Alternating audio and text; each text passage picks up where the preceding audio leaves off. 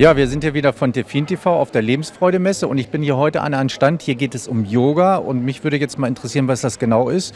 Und ihr stellt euch bitte am besten einmal erst vor. Ja, mein Name ist Peter Jakob.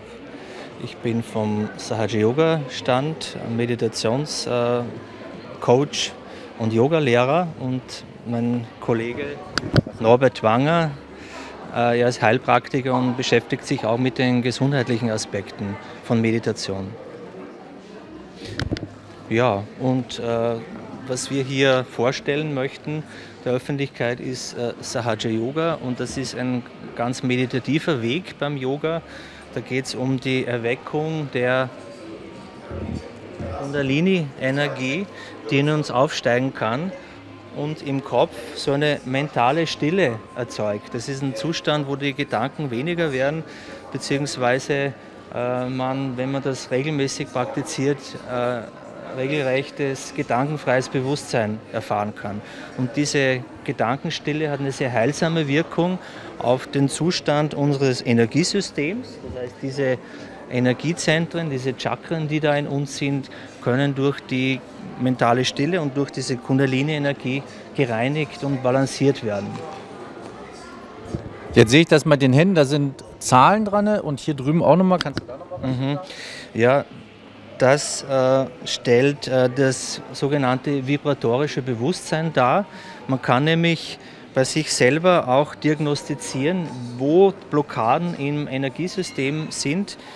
Insofern, dass äh, wenn diese Kundalini-Energie aufsteigt, ganz bestimmte Finger was anzeigen. Hier gibt es ein taubes Gefühl oder manchmal sogar ein äh, Kribbeln auf den Fingern und durch diese Zuordnung Ihr seht das mit den Farben und mit den Ziffern, kann man bei sich selber äh, diagnostizieren, wo ich meine äh, persönlichen Blockaden habe. Und durch die Methode von Saj Yoga kann ich dann ganz gezielte Behandlungsmethoden anwenden, wodurch ich diese Blockaden in mir äh, lösen und lockern kann.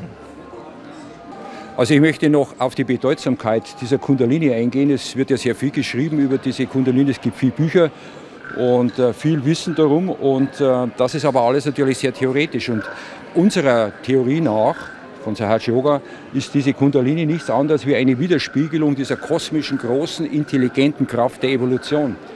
Und demnach kann ich natürlich, wenn diese Kundalini eine Widerspiegelung ist, diese Kraft nicht dominieren, ich kann sie nicht manipulieren, ich kann nicht dafür bezahlen. Und das ist der große Unterschied. Diese Kundalini möchte nämlich eines, sie möchte uns zeigen, dass in uns etwas anderes ist wie die normale Identifikation zu unserem Ego oder zu unseren äh, Konditionierungen, sondern dass in uns das ist, was man das Atma nennt. Und das ist der Spirit und das ist das Grenzenlose, das Göttliche, könnte man sagen, eine Essenz, die in jedem Menschen vorhanden ist. Und das ist eigentlich das Ziel des Yoga und das möchte eigentlich die Kundalini machen. Und auf diesem Weg wird sie auch diese verschiedenen Chakren wo er jetzt bereits erklärt hat, äh, uns zeigen, wo unsere äh, Hemmnisse sind, wo unsere äh, Imbalancen sind. Und das kann ich dann körperlich spüren. Und das ist die wahre Bedeutung der Kundalini. Jetzt würde mich ja interessieren, ich biete das ja irgendwie an, wie kann man da jetzt, äh, wie kann man das bei euch irgendwie lernen oder wie geht das? Äh, das ist jetzt so, dass es ein, ein erstmaliges Ereignis ist, wo ein erstmaliges Ereignis gibt, wo diese Kundalini erstmalig aufsteigt. Und äh, nachdem ich also erklärt habe, dass das eine so hohe Kraft ist, kann das nicht willentlich geschehen, wie unser normaler westlicher Weg immer alles zeigt, alles zu machen, alles zu ergreifen, in den Griff zu bekommen, sondern das ist etwas, wo ich meine Demut das erste Mal entdecken muss, wo ich es wünschen muss, dass das in mir passiert. Das ist das Entscheidende. Ja. Und dann, wenn ich das wünsche, dann gibt es ein paar Fragen, äh, wo ich mich selbst bestätige und dann kann das, das kann man nicht garantieren, aber dann kann das passieren, dass diese Kundalini sich erhebt. Und das ist dann auch ein Vorgang, der spürbar ist, zum Beispiel eben an einer Kühle am Kopf, an einer Gedankenfreiheit, wie er bereits erklärt hat. Aber was mich ja jetzt persönlich interessiert, das heißt, wenn ich jetzt das lernen will, wo kann ich da bei euch hingehen und wann geht das los? Oder geht das, zum, geht das gleich, dass das bei mir passiert oder wie lange braucht der Prozess? Das ist sehr unterschiedlich, je nach äh, könnte man sagen, nach dem Individuum, das jetzt vor diesem Problem steht, weil wir nämlich alle in dieser Evolution schon seit äh, Menschen altern oder viele, viele leben, haben wir eine bestimmte Vorgeschichte und dort gibt es natürlich unterschiedliche Problematiken, weil wir nämlich nicht, wenn wir sterben, immer wieder bei Null anfangen, sondern es geht weiter. Im nächsten Leben geht die Evolution wieder weiter und wieder weiter und wieder weiter. Das heißt, jeder hat seine Spezifika und hat seine spezifischen Schwierigkeiten, aber das macht dann alles die Kundalini, dass sie das uns zeigt, wo es dann eben äh, hakt oder wo man dann daran arbeiten sollte. Noch einmal, um auf deine Frage zurückzukommen. Äh, es gibt in ganz Deutschland äh, Sahaja Yoga Zentren, wo Meditationskurse und Seminare äh, stattfinden. Vielleicht mal kurz die Internetseite einblenden, sahajayoga.de. Und dort kann man auch diese Methode von Sahaja Yoga Meditation erlernen. Und das Ziel ist, dass man das dann auch alleine zu Hause praktiziert und anwendet. Also man wird aber in den Zentren dann äh, praktisch professionell begleitet? Ja, äh, natürlich. In allen Zentren gibt es äh, erfahrene Sahaji Yogis, die die Anleitung bieten, um diese Meditation zu praktizieren. Übrigens, alle Yoga-Lehrer und Meditationscoaches machen das ehrenamtlich. Also bei uns steht das kommerzielle Interesse nicht im Vordergrund. Äh, und die meisten Kurse sind eigentlich bei freien Eintritt, höchstens äh, freiwillige Spenden äh, für die Raummiete. Aber die Yoga-Lehrer selber machen das ehrenamtlich. Oh, das hört sich ja ganz gut an. Ja. Etwas sehr Wichtiges, dieses kostenlose ist sehr, sehr wichtig. Das könnte man als Qualitätskriterium sogar herannehmen, weil wie wollen Sie denn zum Beispiel bezahlen, wenn die, der Samen, den Sie in die Erde stecken und dann soll eine Pflanze praktisch wachsen, und das ist ein ähnliches biologisches Wachstum mit dieser Kundalini.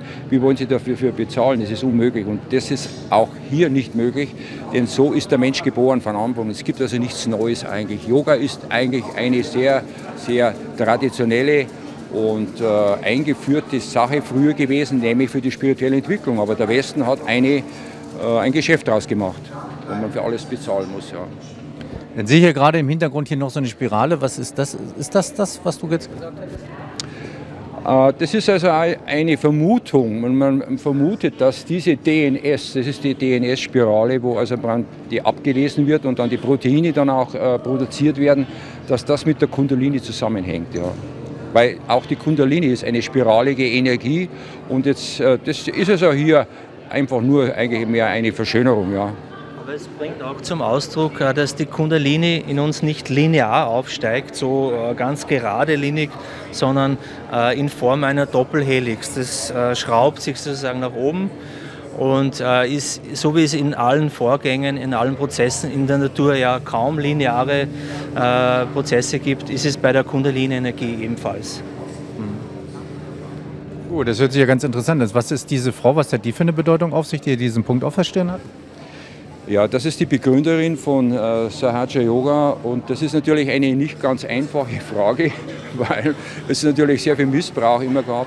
Man kann dir sagen, dass das der Guru ist ähm, von Sahaja Yoga und das möchte ich betonen, ein sogenannter Sat-Guru und Sat bedeutet Wahrheit. Und das ist natürlich auch eine äh, schwierige Sache, was ist die Wahrheit? Und tatsächlich ist es so, dass sie über dieses Instrument, das sich entwickelt, selbst ein Instrumentarium erhalten eine Fühligkeit für Wahrheit. Und Wahrheit ist all das, was uns erhebt und Falschheit ist all das, was uns herunterzieht. Und Simadaji, das kann man dann auch spüren, hat auch immer von sich gesagt, ihr könnt mich nicht im Außen erfahren, ihr könnt mich nur in eurem Inneren erfahren. Dort könnt ihr sehen, wer ich wirklich bin. Und sie hat also weltweit ist sie gereist, 100 äh, Länder gibt es also Sahaja Yoga. Ihr Mann war also ein hoher äh, ein, ein Diplomat in der UNO, und äh, über diese, äh, diesen Status, dieser, dieser, dieser politischen Status konnte sie frei reisen und sie hat eigentlich nie Geld genommen, kann man sagen. Ja. Und das ist also ein wichtiges Kriterium. Das hört sich alles interessant an. Ja, dann bedanke ich mich einmal recht herzlich für das Gespräch. Und dann hatte ich noch eine Abschlussfrage. Hast du noch eine wichtige Botschaft an unsere Zuschauer, äh, die du jetzt, die für dich brennt? Ja, ich würde vorschlagen, einfach diese Erfahrung der Kundalini äh, zu machen, sich das äh, wünschen und sich selber die Chance geben, äh, diese, diese Kundalini zu spüren. Und äh, es können sich dadurch sehr, sehr große Potenziale in uns auftun. Äh, und das Ziel, das eigentliche Ziel von Sage Yoga ist nicht nur Entspannung zu erfahren, diese innere Balance zu etablieren, sondern ist die Selbstverwirklichung und das Selbst in uns ist die Quelle der Freude und bedingungslosen Liebe. Und die Kundalini kann all diese Potenziale, all diese äh, Qualitäten in uns zur Entfaltung bringen und man hätte vielleicht vorher nicht geahnt, was alles möglich ist, aber es ist wirklich möglich, diese äh, Selbstverwirklichung in diesem Leben äh, zu erlangen und da möchte ich einfach alle einladen, das zu spüren äh, und diesen Weg dorthin, den Weg zur Selbstverwirklichung zu gehen. Gut, Dankeschön. Das war der FinTV von der Lebensfreude Messe aus München.